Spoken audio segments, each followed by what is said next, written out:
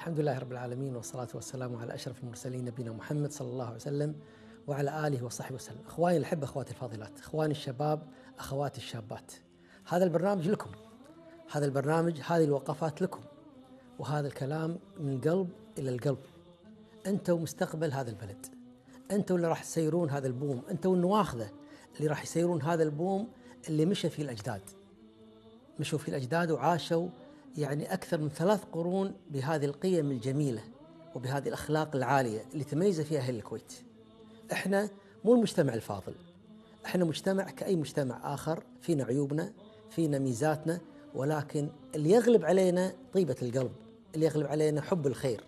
وأنتم من جيل هالشباب أنتم أبناء وأحفاد هذا الجيل الذي بنى الكويت. إحنا يا شباب الله خلقنا من أجل غاية واضحة. واضحه وهي وما خلقت الجن والإنس إلا ليعبدون. الله خلقنا خلق الإنسان من أجل تنفيذ غاية وهي العبادة. العبادة مو معناتها صلاة وصيام لا. العبادة معناتها عمل الخير في هذه الأرض. كل شيء حلو الله يحبه يسمى عبادة. كما يقول النبي صلى الله عليه وسلم الإيمان بضع وسبعون شعبة أعلاها لا إله إلا الله. وأدناها إماطة الأذى عن طريق والحياء شعبة من الإيمان. كل شيء خير تسويه في هذه الحياة هو يعتبر عبادة. ولكن تنفيذ هذا الهدف العظيم عمارتك للأرض تحقيقك للأهداف تمتعك بالحياة هل يكون من غير صحة؟ الصحة مهمة. لما تكون مريض ما تتلذذ بالحياة. لما تكون مريض ما تلذ بالحياة. لما تكون مريض بعض قدراتك الجسدية غير قادرة على أن تنفذ الهدف اللي تبيه أنت. أي هدف دنيوي. تبي تدرس تبي تتزوج تبي تسوي مشروع تجاري تبي يعني تمارس هوايتك تبي تعبد الله سبحانه وتعالى العبادة التي أمرك بها الله سبحانه وتعالى. ما تقدر إذا أنت مريض. المريض ما يقدر يسوي أي شيء. لذلك إحنا نبيكم تكون أصحاء. المرض يعطلك عن أداء الهدف اللي أنت تبيه. المرض لازم نعرف شلون يصير المرض.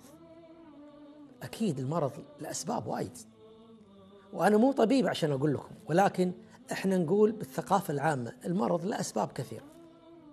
ولكن من أهم هذه الأسباب هو الأكسدة. الأكسدة شنو يعني الأكسدة؟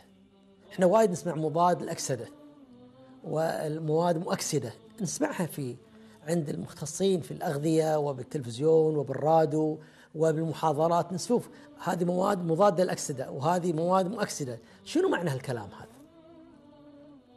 أخواني الشباب أخواتي الشباب.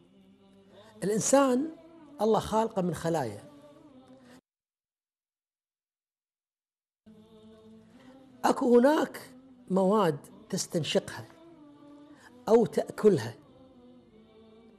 تحطم هذه الخلايا. فهذه يسمونها محطمات الأكسدة. تؤكسد الجسم. شنو المواد هذه اللي تأكسد؟ وتسبب الأكسدة اللي يعني هي تحطم الخلايا مالت الجسم. إذا إذا تحطمت خلايا جسمك شو يصير؟ جهاز المناعة يضعف. إذا ضعف جهاز المناعة معناته أي ميكروب يدخل أي فيروس يدخل يقطك. تمرض على طول. يعني ما عندك مقاومة. لذلك يسمون مرض الايدز مرض نقص المناعة. ليش نقص المناعة؟ لأن جهاز المناعة اللي في جسم الإنسان يتحطم. لذلك أي شيء اللي فيه المرض الايدز يقطه. لو نشلة صغيرة لو أي شيء أي شيء يقطه يصير يمرض شهور شهور لأنه ما عنده جهاز مناعة يقاوم المرض اللي جاي. لذلك إحنا نقول إن الأكسدة تسبب نقص في جهاز المناعة. مما يسبب المرض. على العموم فاصل ونعود معاكم مرة ثانية.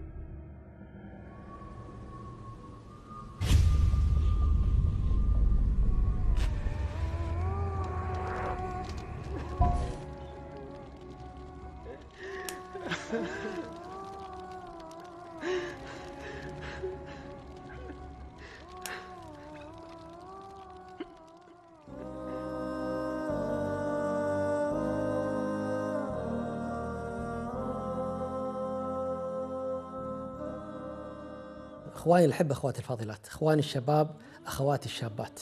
إحنا مثل ما قلنا في قبل الفاصل إن ما الذي يسبب المرض الأكسدة. الأكسدة طبعا أحد أسباب المرض الأكسدة.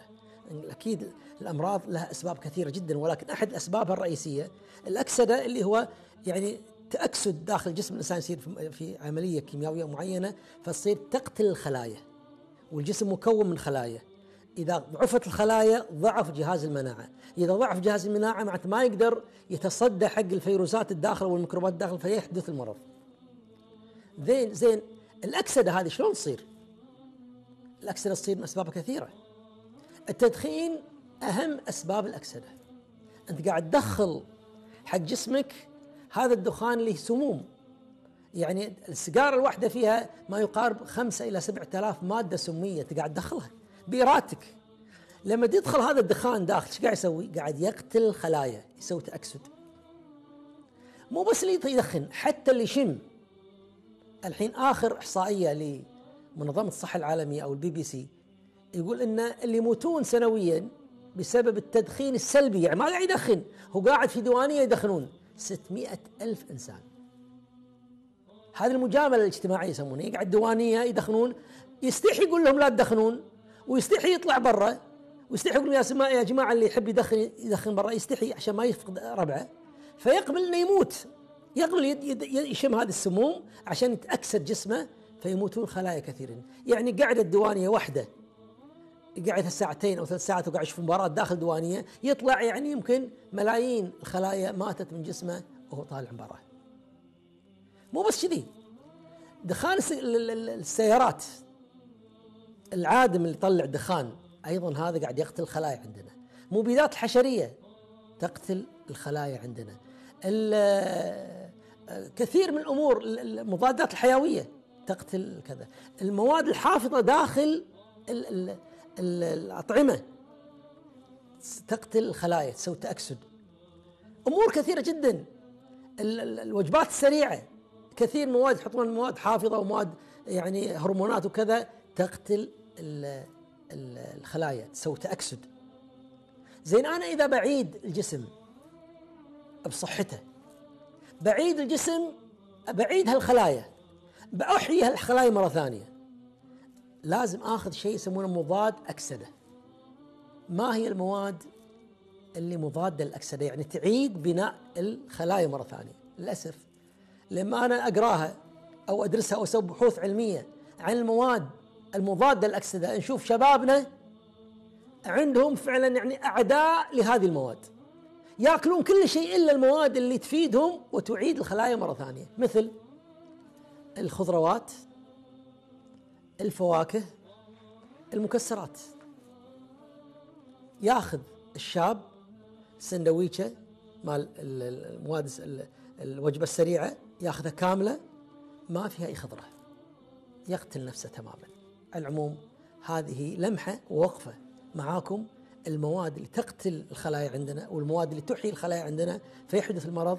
إذا تبكون أصحاء تستمتعون بالحياة خلكم مع المواد المضادة للأكسدة عشان نكون صحيحين. أشوفكم على خير. مع السلامة.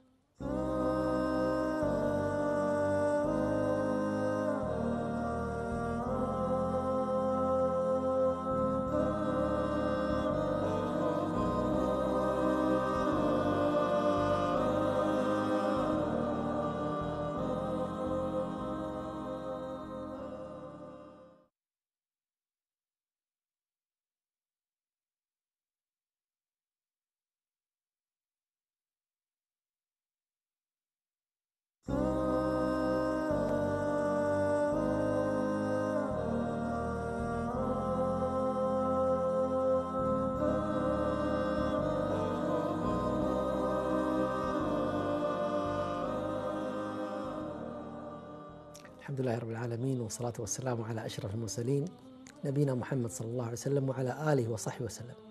إخواني الأحبة أخواتي الفاضلات نرحب فيكم مع حلقة جديدة من حلقات برنامجنا وقفات شبابية. هذا البرنامج لكم من القلب للقلب. هذه خلاصة تجربة آه، مدتها أكثر من خمسين سنة. إخواني الأحبة أخواتي الفاضلات أبنائي وبناتي عام 1974 ابتعثت إلى بريطانيا للدراسة. كنا إحنا مجموعة كبيرة من الشباب ولكن للأسف الشديد معظم هؤلاء كانوا ناويين شر. كانوا ناويين على البنات ناويين على الخمر ناويين على الفساد. قليل جدا منهم اللي كانوا فعلا انظاف فضل الله تعالى أنا نشأت في عائلة متدينة. طلعت مني أنا متدين. فكنت أبي واحد مثلي. ولكن للأسف الشديد قدري والله شاء أن يكون هؤلاء اللي معاي معظمهم للأسف ما أعانوني على هذا الأمر. كانوا كل يوم كل ليلة بعد الدراسة في مدرسة اللغة يقول أمش عبد الحميد معانا حق الديسكو. المرقص. كل ليلة. وأنا أقول لا ما أقدر. كل ليلة يلبسون يتهندمون يكشخون يروحون المرقص. وما أدراك ما المرقص شنو في المرقص؟ أنا منتقل من مجتمع محافظ مئة بالمئة. نتكلم عن السبعينات إلى مجتمع منفتح مئة بالمئة. ماكو شيء حرام. ماكو شيء ممنوع. كل شيء يبي الشاب موجود. من غير ما يكلف نفسه. شاب. لا أمك تشوفك ولا أبوك ولا خالك ولا عمك ولا عائلتك ولا أحد موجود. يعني تبي تسوي الخراب؟ تبي تسوي الغلط؟ ما حد يدري عنك. غير رقابة ربك سبحانه وتعالى. واللي أنت متربي عليه كل يوم يزنون علي كنت أتضايق. أبكي. أقعد بروحي. أبكي. لأن ماكو لا أمك يمك. ما كان في تلفونات ما كان في آيفون. تتصل بالبدال والبدال على ما تعطيك هذه سالفة طويلة. إلى أن تعرفت على أصدقاء صالحين في مدرسة لغة. وكان هؤلاء هم اللي ردوا لي الروح هذين كانوا هم اللي أعانوني. أما البقية اللي رافجوا أصحاب سوء بعضهم ردوا السفارة بعضهم فشل في الحياة وفشل في الدراسة بعضهم عطى صورة سيئة جدا لبلده. بفضل الله سبحانه وتعالى بسبب هؤلاء الصالحين وأكيد دعاء الوالدة والوالدة كانوا سبب في نجاحي. انتقلت من مدينة إلى مدينة هذيلي معاي الصحبة الصالحة. أنا أقول حق عيالي وبناتي اللي قاعد يطالعوني الحين ديروا بالكم. اختيار الصاحب الصالح. هذا شيء مفصلي في الحياة. أبوك ما يلزمك ولا ابوه ولا أمك ولا أخوانك أنت تختار. إذا اخترت هذا الصاحب دير بالك وتذكر شيء أن هناك تداعيات وآثار قانونية واجتماعية وشرعية. راح تسألني شنو علاقة اني اختار صاحب يصير فيها الآثار الثلاثة؟ نعم فيها آثار قانونية واجتماعية وشرعية. القانونية أكو مادة في القانون الكويتي مادة 38 التبعة القانونية في مادة في القانون الكويتي مادة 38 قانون الجزاء. هاي يسمون قانون أو مادة الجليس. يعني إذا كبسوا عليك أنت في ديوانية مع ربعك اللي اخترتهم أصحابك وهذيل كانوا هتلية كانوا متعاطي مخدرات أو جرائم معينة وكبسوا عليك أنت تروح معاهم يقضي عليك القاضي سنتين. شرح المتذكر تفسير للشرح هذه المادة لأن أنت تعتبر متستر على جريمة فيحكم القاضي عليك سنتين. دير بالك هذه التبعة القانونية لاختيارك الخاطئ للصاحب. أكو هناك تبعات أيضا أخرى تبعات اجتماعية وتبعات شرعية. إذا ما تنتبه حق نفسك راح تحصل كل هالأشياء النتائج على العموم فاصل ونشوفكم مرة ثانية.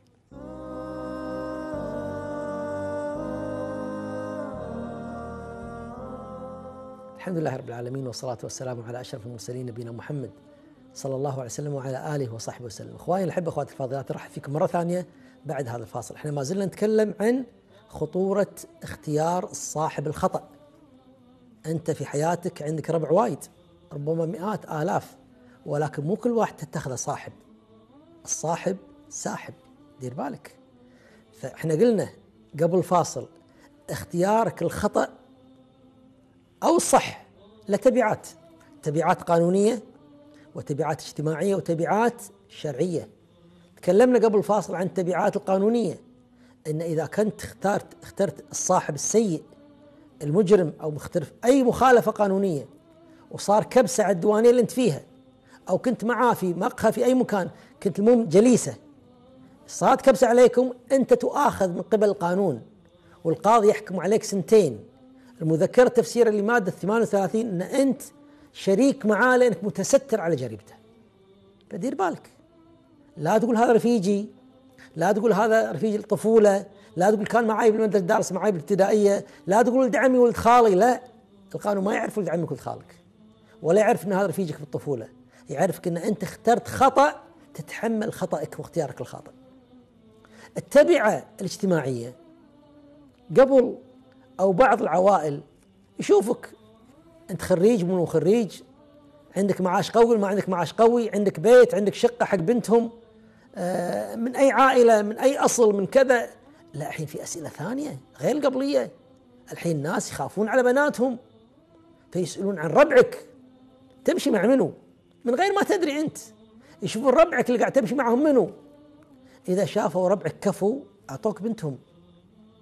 إذا شافوا ربعك مو كفو حتى أنت ما فيك شيء ما يعطوك بنتهم. ليش؟ لأن كل واحد يخاف على بنته. وأنت باكر لما تجيلك بنات تخاف عليهم. وتستقصي بالسؤال لبنتك هذه حشاشة قلبك ما تقطها حق أي واحد باكر يهينها ويطلقها وتصير جليسة في بيتك لا. يستقصي بالسؤال عشان يبتعد عن النتائج الخطيرة. أكو هناك حتى مو بس الزواج. تشتغل بشركة بوزارة آه، أي مكان يسألون عن ربعك. منو ربعك؟ عن المرء لا تسأل واسأل عن قرينه. فكل قرين بالمقارن يقتدي مثل ما قال عليه وسلم المرء على دين خليله فلينظر أحدكم من يخالف يعني الإنسان يتأثر في اللي يمشي معاه طريقة ضحكة، طريقة مشية، طريقة كلامه، نكته، اهتماماته. أنت قد يكون ما تحب كرة القدم. رافجت واحد يحب القدم تقوم تحب كرة القدم. أنت ما تحب التطير صرت مطير شيء صرت تطير معاه. أنت والله مو صوب القراءة، واحد يعرف يقرأ ويحب القراءة تصير تقرأ قراءة. حتى أحيانا بالأكل واحد ما يحب السمك. تقول ما تحب السمك مثله. لأن أول شيء جامل لين ما تصير عادة عندك. أو يحب السمك تقوم تحب السمك وهكذا. التبعة الشرعية هذه أخطر شيء هذا أخطر شيء يمكن القانون يعني أنت تاخذ قانونك هني تعاقب ولكن ما عليك ربما يعني أثر شرعي ولكن الشرعي أخطر شيء شنو يعني الشرعي العقوبة عقوبة رب العالمين. عقوبة رب العالمين.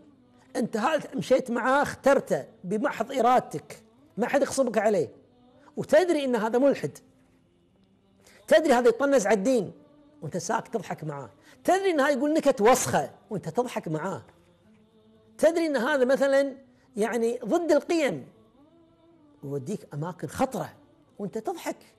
يعني أنت قاعد تدري إن هذا قاعد يطنز على الدين. يطنز على القيم يستهزئ بالقرآن ملحد ومع ذلك أنت قاعد تمشي معه. وموافق على ذلك. هذه هذه اختيار خطر جدا. والله صار في وقت الصلاة. الجامع لأن ما يصلي هو. الجامع ما تصلي معه. أول مرة تقول والله بأخرها شوي. لا بعدين تصير خلاص ما تصلي. مرة واحدة. أكو عقوبة شرعية. يوم القيامة الله ما يهدك ابدا. في عقوبة شرعية. ويوم يعض الظالم على يديه يقول يا ليتني اتخذت مع رسول سبيلا. يا ويلتى ليتني لم اتخذ فلانا خليلا. لقد أضلني عن الذكر بعد اذ جاءني وكان الشيطان الإنساني خذولا. نسأل الله سبحانه وتعالى أن نكون عندنا صواب في اختيار الصاحب عشان لا يسحبنا إلى الخطأ. اشوفكم على خير. مع السلامة.